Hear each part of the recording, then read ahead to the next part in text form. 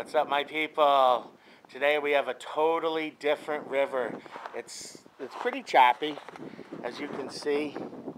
It's choppier than it had been. Listen to the sound of the river.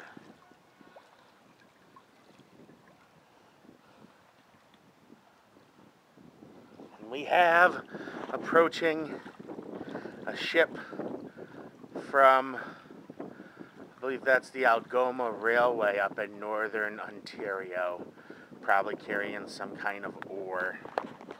And again, I bring you the metaphor. Today the river's choppy, choppier than usual.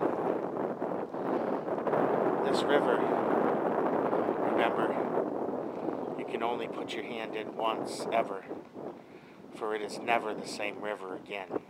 You know this. The St. Lawrence River is, in fact, much more complex and really part of the Great Lakes watershed. So the entire massive Great Lakes empty into the St. Lawrence River and then into the Atlantic Ocean. I've seen the St. Lawrence most of the distance from from Lake Ontario up, up until Quebec City. And I must confess, it certainly is, as you can see, a most majestic river. An amazing river, wide, clear, clean, and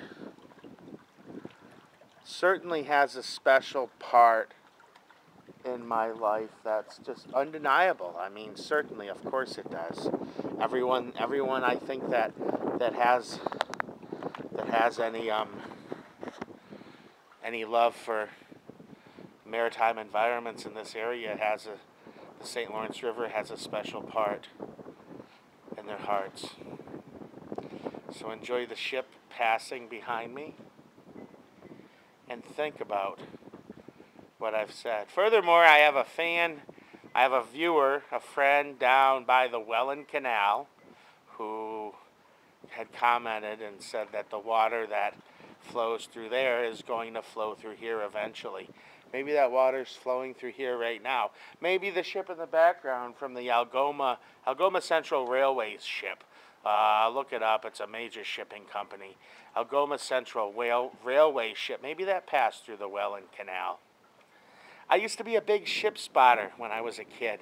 Really big into it. In fact, so big into it that I'd even cheat on my on my logs of shipping, even though no one ever saw them. Think about that. Choppy river. And nothing brings in the choppiness like a ship. Enjoy the sounds of the river to take us out.